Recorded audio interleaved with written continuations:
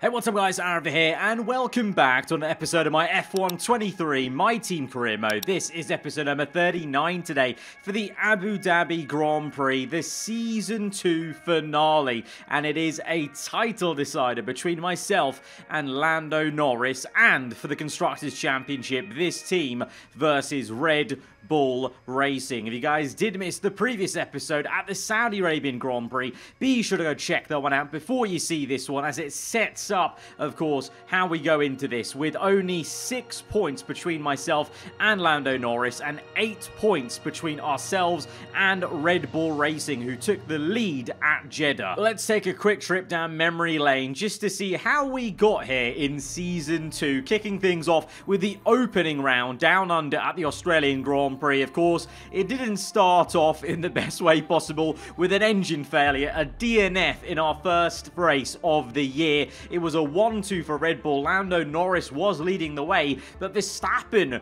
was the one that actually got the better of the two Red Bull cars, and he won the first race of the year. That would be a bit of a smoke and mirrors in terms of how the season would play out, of course, as we now know Verstappen really struggled with focus and momentum, and I still suspect a bit of it was to do with him losing the World Championship in Season 1 to Lewis Hamilton. Generally, we've seen sometimes when AI lose championship battles, they can take a bit of hit in performance or focus all round. But at the start, it was looking good for Max Verstappen, but that would sadly be one of very few great moments for him in this season. Carlos Sainz took victory at the Qatar GP for Ferrari. Once again, Ferrari and Sainz started this season very, very strong and it would be a similar pattern from Season 1, though, as they would fall away. Round number 3, we took our first victory of the season at the Bahrain Grand Prix. A really well-controlled race from us, and showed that this car really had some pace in it, especially early on in the year, that we need to make the most of it. Needed to get consistent podiums, consistent points, if we wanted any chance to be in this fight this season. Lando Norris then took his first victory in Formula 1 and for Red Bull Racing at the Spanish Grand Prix after an interesting Spanish GP. A kamikaze move from Verstappen kind of took us out the running and Lando was the beneficiary and put his mark on Red Bull Racing as we now know he would go on to really lead the team and be the spearhead for them all season. And from Spain we went to Monaco and it was Daniel Ricciardo's day in the sunshine as he dominated the Monaco GP. On his return to Formula 1 this season, as we sign him as our teammate at the beginning of the year, he wins the Monaco GP. Of course, it's a fan favourite and it's a big favourite for him. And it was a massive, massive result as we got a 1-2 as well and took a commanding charge in the Constructors' Championship. And this was the start of Ricciardo really performing for us as a teammate. Lando Norris, though, was back on top form at the Canadian GP, was just a bit too quick for myself, but we were still on the podium, scoring good, consistent results, and that was the pattern for all of the mid part of the season between myself and Lando Norris. Lewis Hamilton would win his one and only race of his last season in Formula One as he retires at the end of this episode. And in the first Portuguese Grand Prix of this series, with Portimao returning, it was another new winner for this season. Leclerc took the top spot and chucked his hat into the ring as maybe a dark horse. At this point, it was hard to tell really who else could be in the championship fight. Russell took victory at the British Grand Prix. It should have maybe been us. It could have been us still with the performance we were showing after an early crash. We were coming back through. A safety car was going to help us out. And then the F1 god said, no, you really aren't going to score this race as we suffered another engine issue, a mechanical failure. And we are out along with Carlos Sainz who got disqualified, really flipping the script for Ferrari there. Ricciardo then won his second race of the season and became the leader of the team, in fact, in terms of race wins, as he won in Baku and the sprint race there as well. But it was more pandemonium for Formula One in the next race at the Italian Grand Prix, where Pierre Gasly won his second race ever at Monza with a last lap, last corner overtake on Leclerc to take victory for Alpine. For us, it was a podium there and needed as we bounce back from that horrid Baku GP with no points scored there and the car feeling very, very difficult. This was an important part of the season for us to turn things around because at one point I thought we made the car way too quick in a straight line and didn't have enough downforce to cope with it. But Monza showed we still had some pace in the car and all was not to worry about. But at the Belgium Grand Prix, much like Formula One always does, it's up and down and up and down. In Spa, it was a downer for me as we had a first lap crash in the sprint and took us out. Alexander Albon went on to win the full Grand Prix again, like Gasly, with a last lap, last corner overtake. With Lando Norris suffering an engine failure in that race, a crucial timed one for us as we recovered from the back of the grid. Carlos Sainz won an electrifying Las Vegas Grand Prix with a red flag that saw my team put dry tyres on on a wet restart. Was leading for much of the race but had an engine failure. We then went to a wet and wild Sao Paulo and it was Spingate as Liam Lawson span his Williams and caused the safety car. Norris had stayed out. He was able to pit under the safety car and he went from being outside the top 10 to being in the lead of the Brazilian Grand Prix. Of course, Liam Lawson, although he's driving for Williams right now, he used to be a Red Bull driver. So I'm calling him Agent Liam Lawson. And if it really comes down to the points Lando got in this race, I will be severely peeved off. And it would be quite a controversial part of this season as there he is going into P1 and going on to win the Brazilian Grand Prix. That was a massive hit for us. We were set to win that Grand Prix, I think. We had been beaten in the sprint with a photo finish by Lewis Hamilton, but that race was ours up until that spin gate from Lawson and that Red Bull free pit stop. And in the second last race, Max Verstappen went on to win after Russell suffered a huge mistake from the lead of the race. Lando Norris struggled in that one and just came through for a top six finish. We had to come back from a grid penalty to try and limit the damage. At this point, everyone else was really out of the running. Leclerc was there mathematically up until Sao Paulo, but then really fell off the cliff. And it was just once again the first two Brits who were leading most of the way of the season, ending the season as the two title contenders, Lando Norris versus myself. But could Verstappen play a part? He wins his second race of the season at a crucial point where Red Bull have really come back and the constructors, of course, and they now lead the way actually because of Ricciardo's poor race at Jeddah. So I need Ricciardo to show up and I need Verstappen to go back to his usual self from this season to and not perform because otherwise it's going to be quite difficult actually because Red Bull are quicker than us right now on the R&D chart. And actually speaking about that, that, we obviously bought an ultimate chassis upgrade to come in in time for this episode. Oh my god. This was the no-brainer. This was the banker. This was the one that couldn't fail. This was one that's never failed. But it has failed. It has failed. Our one and only final upgrade in, what, the last four episodes has failed. I literally bought this because our chassis has the highest quality control and has very rarely ever failed us in terms of bringing in an upgrade.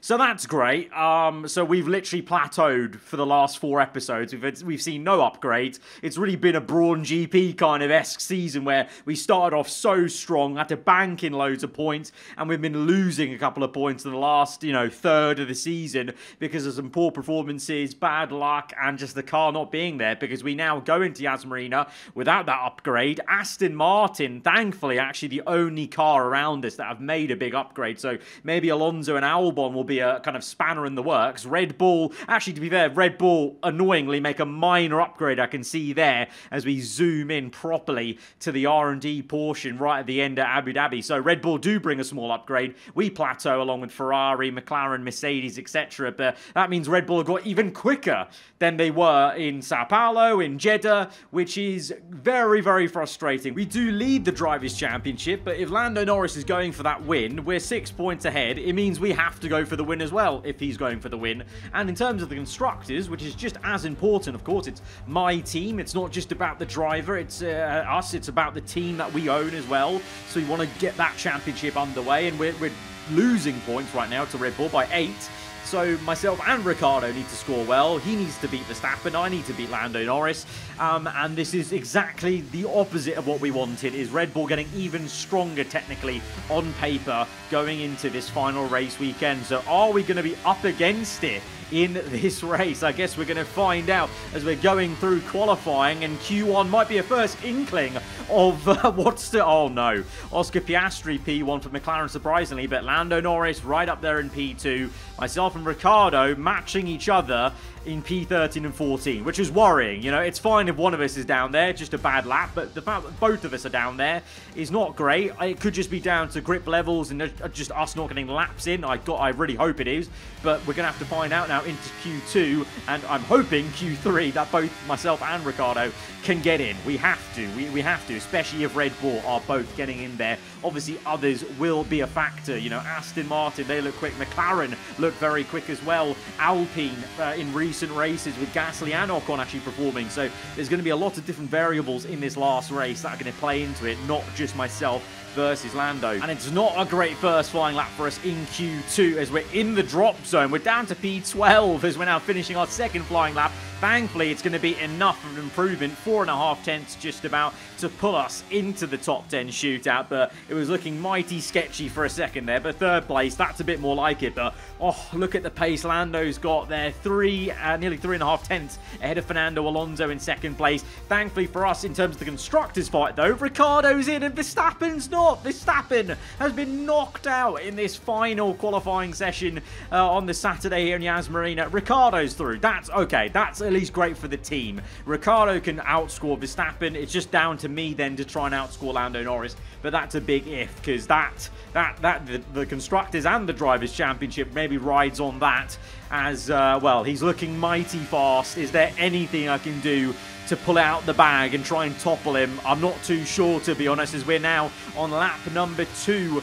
in Q3. We've done a first flying lap on a scrub set of tyres. So it was, it's a set I used in Q1, so it wasn't particularly quick. It's P9 here, but it gives us a yardstick to maybe measure. But at the moment, we're gaining three tenths on this lap. It's not enough. We need about five tenths at this stage, probably about six to seven tenths by the time we get to the end of the lap, as we're getting desperate. A bit too much curb on the inside there, trying to get on the power early to gain a little bit more time through the last sector, chucking it in up to six tenths gain, lose a bit on the exit, five tenths gained across the line. What is it going to be? It is P6. That is not ideal. And it's even more less ideal with Lando Norris on pole position. Ricciardo's even out-qualified me. Ricciardo's out-qualified me. Um, we've actually matched our times really well. So just showing maybe that's actually worryingly, maybe that's exactly where the car is in terms of the R&D chart uh, translating to around Yas Marina. McLaren look mighty. Piastri, the two the two former McLaren teammates are locking up the front row. Our old teammate Piastri's on the front row with our rival Lando Norris. Bottas and Hamilton, the old Mercedes pair, line up on the second row. Kind of nice actually, because of course, remember in season one at Yas Marina, Bottas literally helped out Hamilton Hamilton win the championship, his eighth championship that he can happily retire from Formula One with at the end of this episode. But for us, we share the row with Ricciardo. Uh, at least he's miles ahead of Verstappen, which is good. But for us, we've got five places to make up to get towards Lando, and that's if we can do that first and foremost. And then, what's the pace like? Because he's been three tenths clear in two sessions here, so that is a worry. It looks like our back is going to be up against it going into this final Sunday of the season. Let's go to the grid. So here we are, ready to go racing for one final time this year. Another season of victories, controversies and rivalries lies in our wake. And just one challenge remains, here in the United Arab Emirates on a circuit that made its spectacular debut back in 2009. Welcome to the Abu Dhabi Grand Prix. The drivers will be racing here at the Yas Marina circuit through 16 corners and a lap distance of around 3.28 miles. There are a few opportunities to pass with long straights and DRS zones in two places, so plenty of close racing, then plenty of speed and plenty of drama to be found in the laps ahead. It's time to see how our drivers are stacking up after yesterday's exciting qualifying session. Lando Norris put in a fantastic lap yesterday and he'll start from pole position. And Oscar Piastri completes the front row. Looking down the rest of the grid, we have Bottas, the owner driver, Albon, Russell, Fernando Alonso, Leclerc, Gasly, Sainz, Verstappen, Ocon, Hamilton, Magnussen, Ricciardo, Liam Lawson, Tsunoda, Hulkenberg, Stroll, Perez, Zhou, and Logan Sargeant. And now it's time to head down to the track. Joining me for the Grand Prix once again is none other than Anthony Davidson. They've had a fantastic campaign, a wonderful year, and they come into this weekend's Grand Prix as a fully deserving champion. I agree it's been a truly impressive season, but championship or no, I don't think they'll be gently cruising around to the finish line. In fact, with points no longer a concern, there's a lot less to risk, so we may even see a more aggressive approach. Well, well, well, Daniel Ricciardo with a grid penalty, Lewis Hamilton with a grid penalty, and that's elevated us up to P4. We're on the second row now alongside Valtteri Bottas. I can see Lando ahead of us on the front row alongside Piastri. Uh, that's unfortunate for, uh, for the team, though. That's good for me individually, but Ricciardo is now you know, near to Verstappen. They're both now going to start outside the top 10. So he's going to need to, to, make a comeback drive or at least make sure he just gets ahead of Verstappen at some point in this race. But uh, Ricciardo's pain there is our gain, maybe as an individual for the Drivers' Championship. I really am hoping at this stage, as we line up behind Piastri, my old teammate, come on, do us a solid, fight Lando, hammer and tong into turn one, get first place away from him and uh, push him towards us. I really beg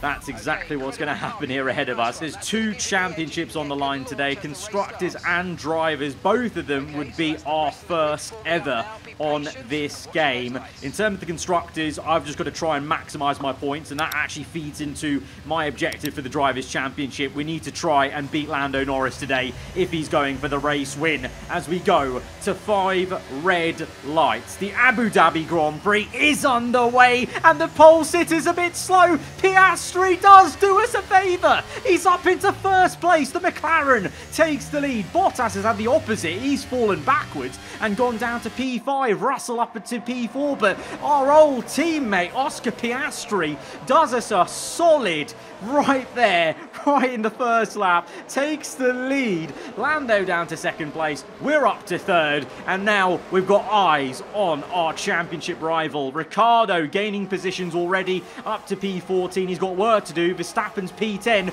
already in the points right now as Lando now goes for the lead of the race though. The McLaren did so well. Piastri, he was electric off the line, but the Red Bull looks to be just a bit too quick. They jockey for position, and that's going to invite me to do the double overtake. We've got Piastri, we've got Lando Norris, but the McLaren is going to come back at us as we squeeze the Red Bull to the inside. Piastri goes the long way round and says, nah, I'll take that, thank you, and takes both of us once again. Piastri, first place to third, back to first place. What a sequence there as he locks up into the last sector we almost have to go into the back of him as we've taken it very cautiously, not wanting to have an early incident here, but Piastri, uh, fire, firecracker of a first lap there, all over the shop there, but he leads the way on to lap three. We're in second place, crucially ahead of Lando Norris, but we're going for the race win. We want to feel comfortable here as we go for the move on Piastri. The McLaren comes back at me in the brake zone, really aggressive there from Oscar as he pinches us to the inside as well. Meanwhile, Norris actually thinks fighting for third place. Russell's having a go at him, so the Red Bull looked really quick on the opening lap, but now in some dirty air, not so great as we do finally get past the Australian into first place. Oh, too much curb though. Way too much curb. It's a high profile mistake in a high profile race and we're now down to third place desperately trying to dive back down the inside of Lando Norris, but he's gonna keep second place. He's parked the car immensely there two times in a row under the hotel section to keep second place and now he has another chance to get into the lead of the race. So in a split second, we went from loving life first place, Lando third, to now he's in first place. We've just done a very lovely little switch to the inside there to get Piastri who was doing really well, but I feel like he's now struggling there. He's really fallen away. He's already one second behind us, and now it's all me versus Lando. We're going for it straight away. Big dive down the inside. Lando gives us the room on the inside, and we're going to be neck and neck nearly as we go through the next double right-hander, jockeying for position inches between our two side pods. Lando on the inside. We're going to have the inside, though, for the next left-hander, and that will give us a nice, good squeeze-out opportunity to get into first place. But what a battle that was between two championship contenders for the race win in the final race. It's what you love to see. And oh, it's a red flag! Red flag for what? For what? Early red flag, lap four. Really early red flag in this race. And that's going to calm things down for a second and just reset us a bit. That's going to be an interesting tyre choice, I think, you know, but this is why the red flag's out. The Alpine of Ocon spins into the hotel section. Oh, he crashes with Ricciardo. Oh, no, I'm actually quite thankful now there's a red flag then. Ricciardo's got damage. He'll be able to change that, but that's why there's the red flag. Look at that pile up. About five, six cars ghosting inside of each other. It's basically a track blockage, which has caused the red flag. Ocon just spins it. Ricciardo crashes there. Very thankful now there's a red flag, because Ricciardo can change that wing under red flag conditions. But that is why the red flag's out. Just a big pile-up under the hotel section. But like I was alluding to just then, before we saw the replay, this is an interesting tyre decision, because, well, it's looking like my team are saying mediums to uh, softs or maybe just hards to the end. I'm thinking hards to the end because if there's if there's nothing else in this race, then I don't think a two stop from here or a one stop technically from here is the way to go. I think hards can go the distance. There will be a bit worn at the end, but you're just going to have track position. I'm going to have track position if I can stay ahead of Lando uh, it depends on what they choose as well. Depends on what Lando chooses. I'm hoping he's going to go hard as well. Otherwise, we may be in a pickle as we go to five red lights for this second time. He is on hard as it's lights out. And we're away again in Yas Marina. And Lando's had a mare on the hard tyres. He's had a shocking getaway. He's down to P5. This is huge for us. The two McLarens on mediums are second and third. Yellow flags into turn one as someone has had an issue there. But we're into first place. We're flying away. And it's... what? It's a second red flag. Unbelievable. In the season finale, we've got two red flags. And Yas I didn't think Yas Marina was that much of a chaotic one in the game, really. But two red flags. And this is why, then, off the five red lights... Oh, Oh my God. This, this is Verstappen's Red Bull, by the way. Verstappen suffers an engine failure off the five red lights. And you know what? It's not the first time this has happened to Red Bull. Remember the Bahrain Grand Prix where I won my first race of the season? Lando suffered an engine failure off five red lights, off a red flag restart. It seems to be a Red Bull characteristic in this season. It's happened twice then, two times more than Christian Horner would probably care to contemplate. And that's why the red flag's out, I think, is because Verstappen was just basically too dangerous, parking ahead of everyone, trying to park up. And then this was the replay from his teammate, our rival, Lando, just really poor start off the lights on the hard tyres. The two McLarens were on medium, so they got a really good getaway. But even Russell managed to get off the line better on the hard tyres himself. But now, this is interesting because we've skipped ahead, I think, to lap 9 of this race now on this second red flag restart. And I'm looking at the predicted race time. Mediums, one set of medium tyres seems the quicker option. So we're going to go for that. I'm going to trust the maths. I'm going to trust the data as we start this race again. And Lando stayed on the hards. The two McLarens have switched to hards as we go off the line once again from pole position. But now we're the odd one out on the mediums, along with Russell. Ironically, me and Russell were on hards, and we've now gone to mediums. And the two McLarens, vice versa, swapped round.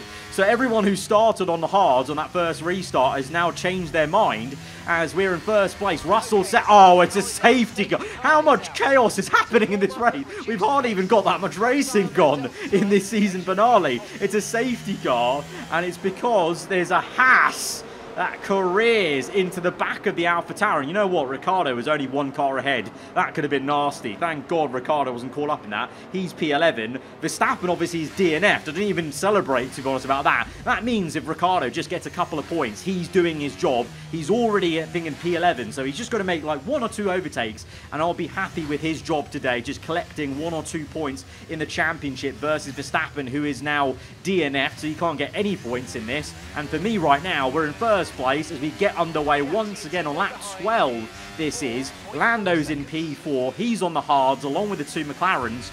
I'm really hoping that me and Russell and the mediums can just pull away from those hard tire runners. And actually, more so, the McLarens, they look really quick. Maybe in that sandwich, Lando's just going to get stuck in the papaya sandwich and uh, just not really bother us. That would be the ideal thing, as uh, Russell is all at the back of this, though. So even though I want me and Russell to pull away, Russell has have, has other ideas. I think he wants to be the leader pulling us both away as the Mercedes gets in a drag race with us late on into the straight. The ERS kicks in for us, but Russell is down the inside. We're going to be very careful about this. Don't want any damage because we're in a very good position right now. Like, I don't need to take risks. Lando's behind us. He's not even ahead of us, so it's not a case of, you know, damage limitation. We're actually just in a really good position, so let's just not do anything too rash as we stay in first place, and we continue to stay in first place. On to lap 16. Three laps later, Russell has been keeping us honest this entire time, but he's now going to go for another try for first place. This time, he's on the outside. Oh, little bit of contact made as we went a little bit too late on the brakes, trying to squeeze him. Thankfully, no damage there or anything more as we stay stay in first place, and Russell's actually so slow off that chicane that here comes Valtteri Bottas, the flying fish. He loves Abu Dhabi, doesn't he? He really got himself into the title fight last season with Hamilton v Verstappen. He's got himself back into it here, maybe with myself and Lando, as he's up into second place as we now watch Daniel Ricciardo, this is, on the next lap. He's in P10, so he's already got one point here, but he's having a look at Piastri and Gasly. Piastri, he's fallen quite away from the lofty heights of P1 earlier, but but look at Daniel Ricciardo. Oh, come on, Rick Bobby. It's the double overtake, is it? On the outside, into Sector 3, Ricciardo is going to get P8. What a move. What a move. That is brilliant stuff there from Ricciardo. Two places for one, and that's a good load of points versus uh, Verstappen with zero, and of course myself in first place. We're looking good for the constructors, and at the moment, at this moment in time, we're looking good for the drivers' championship. But we've got pressure for this race win from the flying Finn. Bottas into first place. That DRS of that McLaren is so powerful. Even with ERS, it's so hard to fight him. At, oh no, lean mixture at the worst time. Bottas has just overtaken us. Russell's a whisker behind us. And now we've got a lower power engine mode. The fuel mixture really does affect your speed. We try our best to outbrake Bottas and try and just use the rest of the car performance to fight him. But on the exit, look at the power he's got. And he just nips ahead of us. And I don't have the confidence to go down the inside there because we know the McLaren on the, on the, on the hard tyres now actually at this stage will have better grip. All the hard tyre runners will start to have better grip than myself and Russell on the mediums. That will be wearing out as we go on through the laps in this race. But thankfully, the engine issue has solved itself onto lap 23. We've got fuel mixture back, and now we can come back at Valtteri Bottas, who goes very defensive to the inside there. We've gone down to single digits on the battery. We outbrake ourselves a little bit, quite deep into the corner, but Bottas actually really doesn't give us much of a fight there, surprisingly, and we get back into P1. Bottas actually has a bit of a mare of an exit, and uh, may even fall foul of Russell, who's coming back in this race. Yellow flag's head. Look at how quick the McLaren, though, is with DRS and the Mercedes car. Russell nipping on the inside, trying to make his own double pass of that corner corner, a la Daniel Ricciardo from earlier. Russell into second, but Russell is really going for first place. He wants the victory, almost the victory that got stolen away from him at Jeddah as he was leading for most of that last race. And here he comes again, lap 24, and now behind I can see Norris is also going for the move on Bottas. This is very, very crucial. We need to re-overtake Russell because if Lando's right there in P3, That's going to be a little bit tense. It's squeaky bum time. We need to get the Mercedes just to feel more comfortable. I need that one car buffer just to feel comfortable in this race for the Drivers' Championship as we are still trying to make this move. But Russell is so good in the corners. The Mercedes has some great acceleration. Maybe his tyres are a little bit better sitting back previously. And Russell goes right round the outside. We're still side by side, neck and neck as we go now under the tunnel. Russell is not going to give us any room. He's going to tap us, in fact, and give us some damage to the floor. Russell, there was so much room on the inside there. There was no way he had to make contact with us, and yet he has. And now we've got floor damage. Thankfully, Bottas re-overtook Lando, so he's in P4. So there is some breathing room there, but I'm not, I'm not convinced Russell had to make contact with us to keep that fighting as we're watching a replay. This is just a good bit of battling there as we're so, so close to making contact there. We get very, very close, committed through here. I mean, Russell using all the cur curb in the world to go through there. But then look at this. I give him so much space to just keep it tight, and yet he understeers into me. It's a racing incident probably because it's just, yeah, he just he literally understeers into me, but it doesn't make it any less annoying. But Lando here fighting Bottas, there was a bit of contact there, you know, between the Red Bull and the McLaren. And I think there's a bit more contact coming up because I say that because Lando looked a bit slow in the last sector, you know, is, oh, look at Albon coming out of nowhere. The Aston Martins have been, been a bit quiet in this race to say that they brought big upgrades into this one compared to everyone else. Bottas through into third place, but look how quick he is off that corner it's almost like Lando's limping a little bit with some damage, and I wonder if it was from that bit of contact with Valtteri. Has Bottas again affected a World Championship on this game, in this series, on this channel? Because now Lando is nowhere near to him, and he's falling into the clutches of the Aston Martins, as Ricciardo, that is, though, we're focusing on, is looking to make an overtake on Leclerc to get up into P7. Come on, Ricciardo, bringing out the big guns for the last race, doing as much as he can for the team for the Constructors' Championship. He's going to overtake Leclerc and get up into P7. But look at where Alonso and Albon are. They're close together. They're fighting each other. But now, on lap 26, Alonso is right up behind Lando Norris. He's definitely picked up some damage from Bottas there, I think, because he is definitely not this slow. He was so quick in the first part of the race. He's on the hard tyres as well, so he's not got tyre wear. I mean, everyone else around him is on hard, so that is just a bit of damage, I think, because the Aston Martin of Albon uh, is now on the back of him. Alonso's already overtaken him. And if he's not if he's not uh, careful, he actually might be just one place ahead of our teammate Ricciardo as Albon goes round the outside and easily oh, he's got damage. He's got the way he overtook him just there in the corner. I, I'm I'm convinced he's got damage. The two Aston Martins P4 and 5, Ricciardo's P7 just behind. Oh, what the? Ricciardo was just behind Norris in P7, but he's coming to the pits. He's coming to the pit. What? Ricciardo, No, he's picked up his own damage. Clearly, uh, way more than Lando, because Lando's not coming to the pits. Ricciardo comes in. Is this legitimately for damage, or is this a tyre well or something? As he comes in, and no, it's a front wing change. He's got damage. Ricciardo is going to be out the points. Lando runs in P6. We're in P2. I don't know what the max is. I think we've still got enough points to win the Constructors' Championship, but I don't want to leave it to chance. So with three laps to go, we're in P2. We're only half a second behind Russell. We're going to dig deep and try and go for this race win with floor damage, with tyre wear, but I think Russell is suffering from more tyre wear than I am as we get down the inside. It's oh so close again. We're basically rubbing side pods, but we do the Nico Rosberg switchback of dreams here. A little bit iffy on the rear end. We make contact with Russell. To be fair, he was a bit aggressive with us, so it's our turn to be aggressive with him,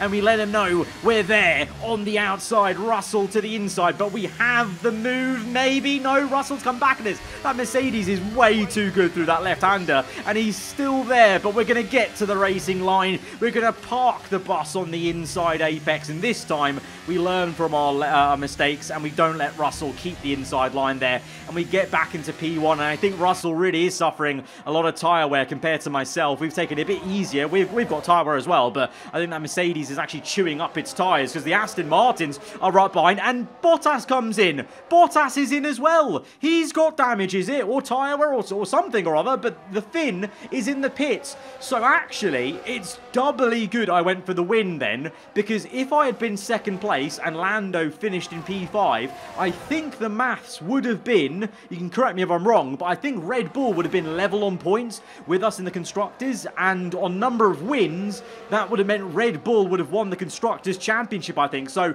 even more crucial then that we made that overtake for the race win. The chess pieces are coming off the board right at the end of the race. Ricciardo in the pits, Bottas in the pits. It's three wide between the Mercedes and the Aston Martins. Is this the changing of the guard as Aston Martin dupe Mercedes? And it's the Aston Martin Honda up into second and third place. Alonso second, Albon third, Lando Norris in P5 hobbling along. So as a driver into this last sector, we can breathe breathe a bit of sigh of relief as we're going to enjoy this last sector to come through for our first Drivers' World Championship on this game, but it's still a bit tense for the constructors, you know. Alonso is rapidly catching me. If he gets first place, we may not win the constructors, and we might not get the first title for this team. Alonso rapidly gaining. These tyres have gone off the cliff into the final corner. We're wide. Alonso down the inside.